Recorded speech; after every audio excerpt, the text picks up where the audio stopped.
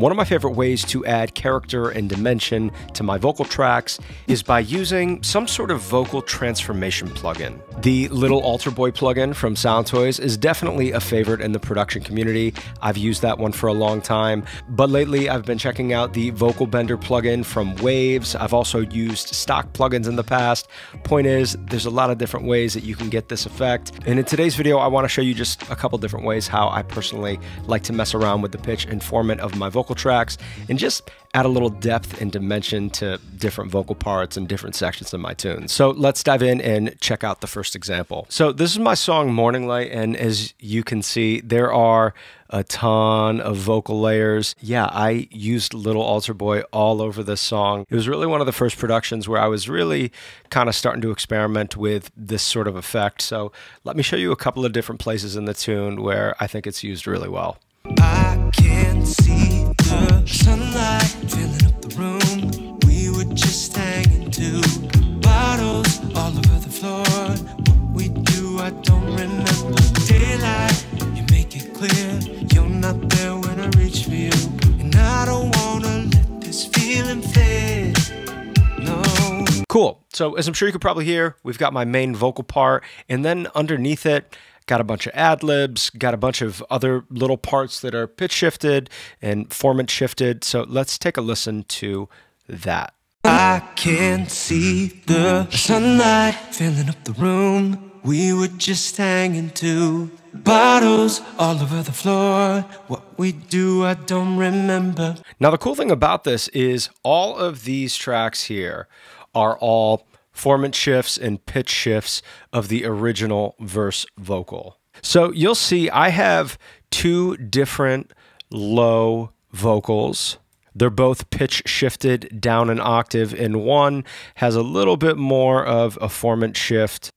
I can see the sunlight filling up the room. We were just hanging two bottles all over the floor. What we do, I don't remember. Daylight. So that's one way you can use it. I also like to just mess around with the formant. Let's take a listen to this. I can see the, I can see the, I can see the, I can see the. So even though you're not changing the pitch at all, when you mix this in with your lead vocal, it sounds like there is a different voice singing along with your lead vocals. Now, this is Midnight Static, coincidentally another song that I'm working on with my friend Javi, but this is very much a work in progress.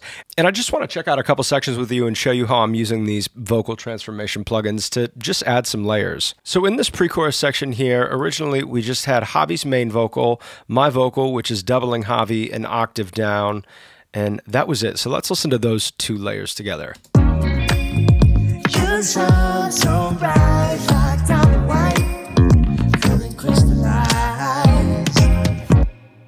Sounding all right so far, but I had Javi double his vocal part, and then I added vocal bender to the right and the left vocal part. You could see on one, I'm just adjusting the formant down a little bit, and then on one, I'm slightly boosting the formant just to make it sound like there's some more voices singing along with Javi and I. So let's take a listen.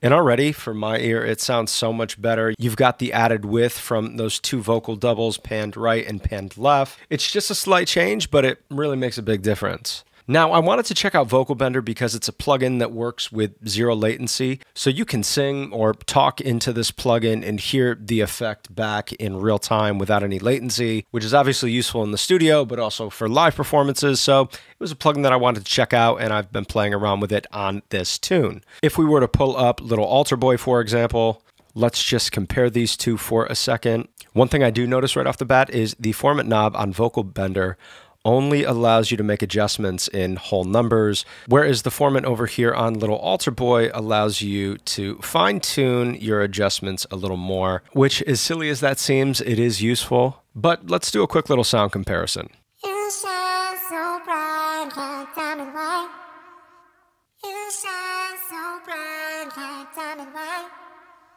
You shine so bright like diamond light.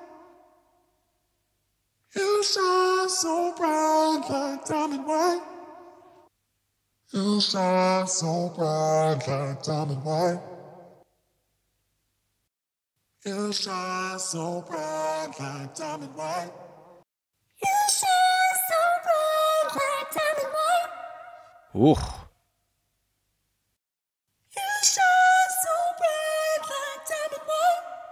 It's interesting. I like them both for different reasons. I think pitch shifting something up, the little alter boy does a little bit better of a job. But at least for this vocal, I think the vocal bender was handling the formant shifting a little bit better. I do really like that little alter boy has this drive knob. I do sometimes find that when you're making adjustments, you lose a little bit of gain. So it's nice just like natively within this plugin, you can add back a little drive.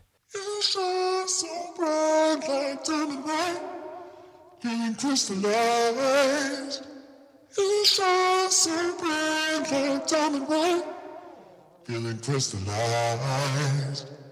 You shine so bright like diamond white, feeling crystallized. You shine so bright like diamond white,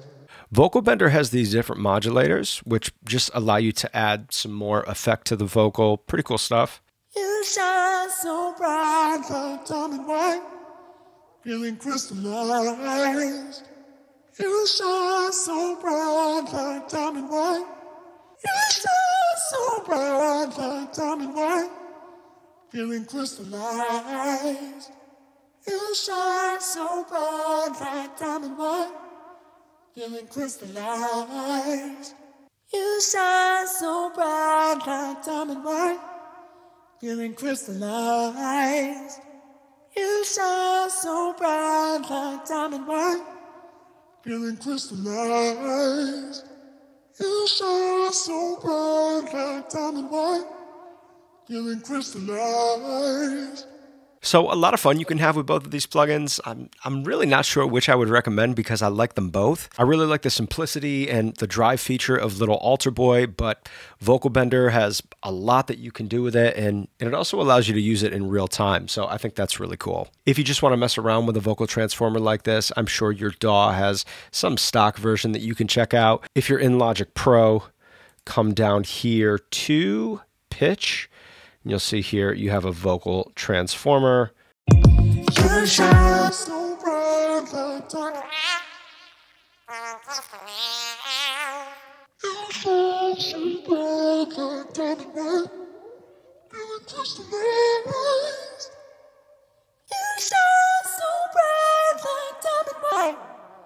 Feeling crystallized.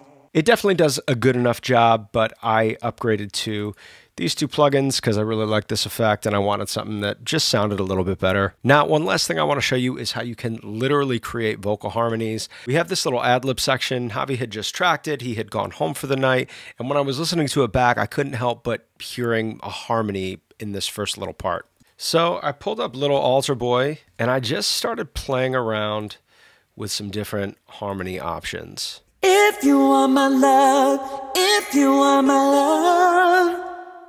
I liked that one. If you are my love, if you are my love. If you are my love, if you are my love. But what I ended up doing was I took three different tracks, used three different pitches, and created the vocal harmony that I wanted. So let's take a listen. If you are my love, if you are my love, you can have Really cool stuff. In the context of the mix, it sounds pretty good. And the best part is, didn't have to drag my friend back into the studio to record three more little vocal parts. So it's a win-win for everybody. If you want more info on Vocal Bender or Little Alter Boy, I will be sure to include links in the description below for you. Those are affiliate links. So if you make a purchase using one of those links, it doesn't cost you anything extra, but it helps to support this YouTube channel, helps me to bring you more videos like this one. But that's going to wrap up today's video, my friends. Until next time, my name is Patrick. I will catch you real soon, all right? Peace.